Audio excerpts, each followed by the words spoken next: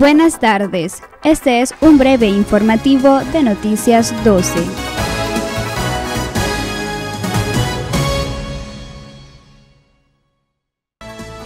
El Ministerio de Salud contabiliza 178 nuevos contagios de COVID-19 en la última semana.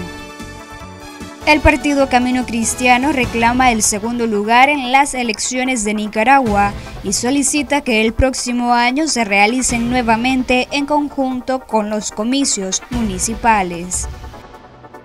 La alcaldesa de Managua oculta proyecto de presupuesto 2021 a concejal opositor.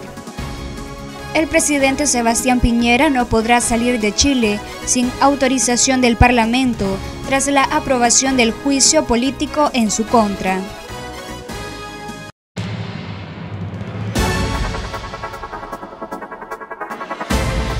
Espera la ampliación de esta y otras informaciones a las 6 de la tarde.